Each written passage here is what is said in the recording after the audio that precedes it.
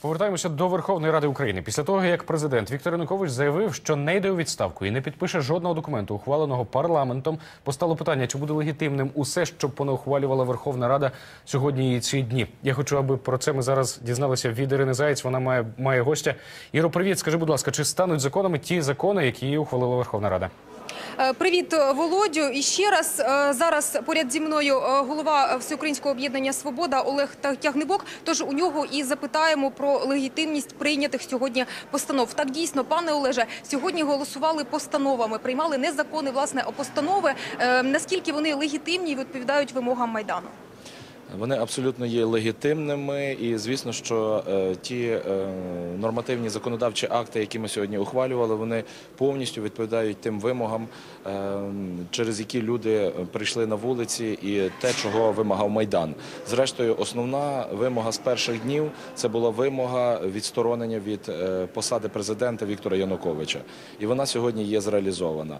Якщо говорити про легітимність голосування в парламенті, то вони були більш ніж легітимними, оскільки практично всі постанови голосувалися е, конституційною більшістю, тобто більше 300 голосами. І ця постанова, в якій ми визнали, що Віктор Янукович самоусунувся від виконання своїх конституційних обов'язків, а також е, про призначення дочасних президентських виборів на 25 травня. Ця постанова була проголосована 328 голосами. Е, Парламент має право ухвалювати наступні нормативно-правові акти. Це можуть бути закони, а це можуть бути постанови. І ті, і ті мають е, відповідну юридичну силу. Так що ем, щодо легітимності, е, українці не повинні сумніватися. Ще раз підкреслю, всі е, нормативні акти були проголосовані не просто більшістю, а конституційною більшістю, що є доволі символічно. Отже, що маємо тепер? Чи виконані всі вимоги майдану, і для чого рада збирається завтра?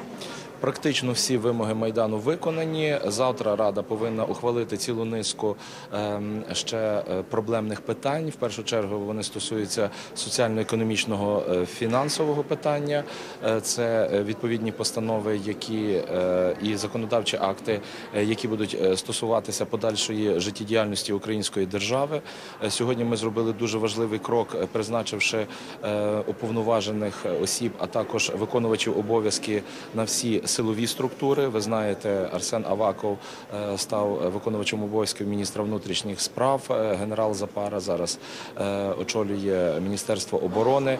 Олег Махніцький є уповноваженим по Генеральній прокуратурі. Валентин Наливайченко по службі безпеки України. Це допоможе якнайшвидше забезпечити спокій і порядок серед силовиків. Вони повинні знаходитися в місцях своєї постійної дислокації. Ем, До речі, щойно повідомили, що е, питання. Е, Це щодо Міністерства оборони, воно вже є виконане. Е, Так само треба запобігти можливим фактам ем, хаосу, ем, безпорядків і можливого мародерства в країні. Е, Саме цим зараз займається Міністерство внутрішніх справ. Завтра е, можливо будемо вирішувати так само далі і кадрові питання, які стосуються уряду. Ну і е, вже повідомив, що в нас є ціла низка таких важливих і швидких питань соціально-економічного фінансового характеру. Дякую вам, пан пане Олеже. Отже, чекатимемо завтра. Володю.